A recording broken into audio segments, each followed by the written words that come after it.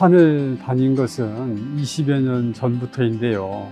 숲 생태를 공부하고 어, 사진도 찍고 해설하는 활동을 해왔습니다. 최근 10여 년간 틈틈이 정리해둔 글을 모아서 이번에 나무의 말이 좋아서로 출간하게 되었습니다.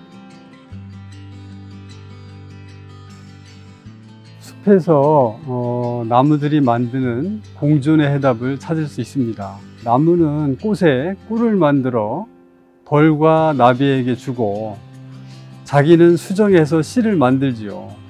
또 씨 주변에 달콤한 과육을 덮어 열매를 만들고 새에게 먹이를 주어 어, 궁극에는 어, 씨를 멀리 퍼뜨리게 됩니다. 어, 동식물이 서로 배려하면서 공존하는 세상이죠. 숲에서 하늘을 올려다보면 나무마다 자기 영역이 있고 잔가지들이 다른 나무의 영역을 침범하지 않습니다. 서로의 존재를 존중하는 것이지요.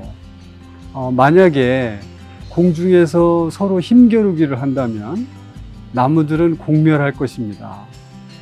우리 사람 세상도 나무 세상처럼 서로 존중하고 배려하면서 너그러운 마음으로 공존하면 좋겠습니다. 예, 일제강점기 2차 세계대전 동안 일본이 수탈해간 물자가 어마어마합니다.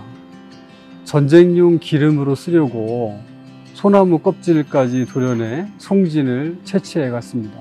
껍질이 도려내진 부위는 더 이상 재생이 안 되니까 나무가 살아있을지라도 목질 일부가 노출된 채로 그대로 남아있는 것입니다.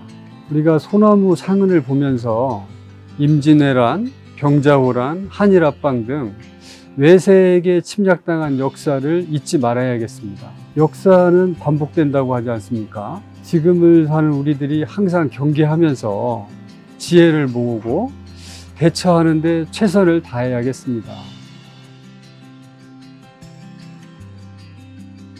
음, 소나무를 좋아합니다. 어, 수피가 매끈하고 보디빌더 같이 잔 근육이 있지요. 작고 자잘한 나뭇잎이 무수히 달려서 여름에 나뭇잎 서걱거리는 소리가 참 듣기 좋습니다.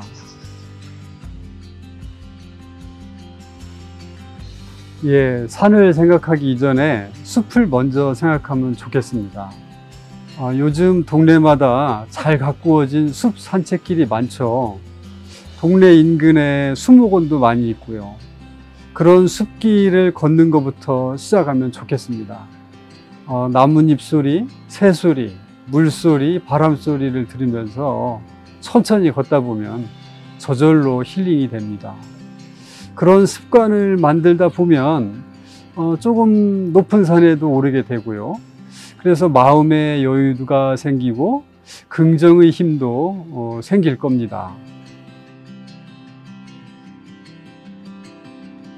어, 생각하는 힘이 필요한 세상입니다. 단편적인 지식만으로 세상을 살도록 세상이 기다려주지 않습니다. 책을 많이 읽고 실천하면서 생각하는 힘을 키워야 합니다. 그렇게 시대에 대처해 나갈 때 자존감도 분명해지고 삶의 의미도 커질 겁니다. 나무의 말이 좋아서는 나무와 숲을 보면서 생각하는 힘을 키우고 삶의 가치를 존중하는 메시지를 담고 있습니다. 자기 자신이 얼마나 소중한 존재인지 그리고 삶이 얼마나 소중한지 이 책을 통해 발견하는 기회가 되면 좋겠습니다.